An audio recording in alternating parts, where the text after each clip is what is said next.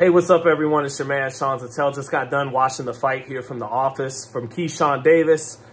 Exceeding expectations tonight in Norfolk, Virginia. Genuinely putting on a 10 out of 10, an A+. plus, And those are always really fun to watch. He knocks out Gustavo Lemos in two rounds. And really, Richardson Hitchins' fight against Liam Paro for the IBF title at 140, that's going to tell us a lot about this performance. It's impressive either way, regardless of what happens. Hitchins and Paro is kind of a 50-50 fight, but if Hitchins can win that fight and become world champion, then then Keyshawn Davis just knocked out a guy in two rounds who went pretty much life or death with a guy who might be a world champion at 140. And by Keyshawn fighting Lemos, who blew the 135 pound limit, it was a blessing in disguise for him. Because if he had knocked out Lemos at 135 at the 135 limit, people would have said, hey, man, Lemos was really a 140 pounder that you drained to 135. How much, what do we really do with this knockout?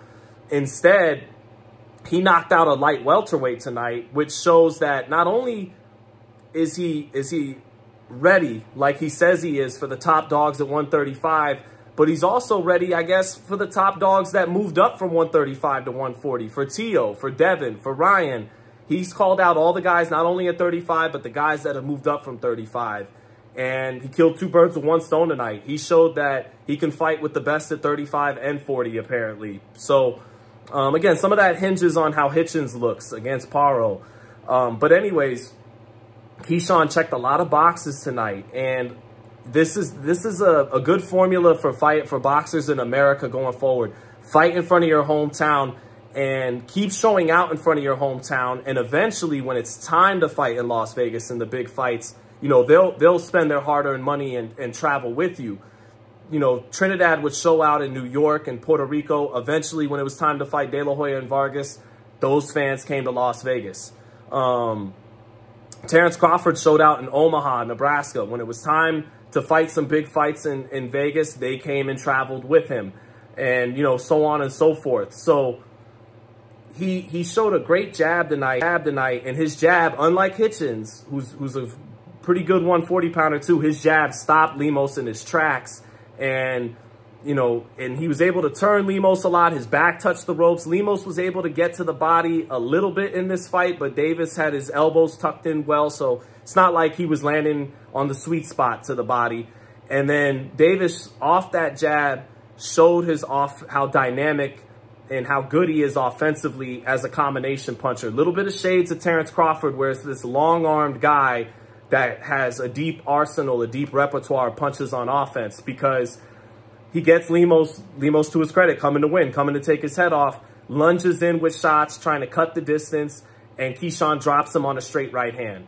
Then he punches in, but he takes chances. He gets hit, and he, he exchanges with Lemos and drops him with a left hook twice. Uh, he, he gets up and falls down again. He actually goes down twice on one punch on the left hook. Then he gets up and he shows the combinations. He rips a left hook to the body and then throws his right hand, not, not like a right uppercut or like a right hook, but something in between the two trajectories, sweeps the right hand and drops Lemos a third time, gets a second round knockout that blows by expectations. And that's what boxing in America needs. It needs guys fighting at their hometowns to build up a foundation of a fan base.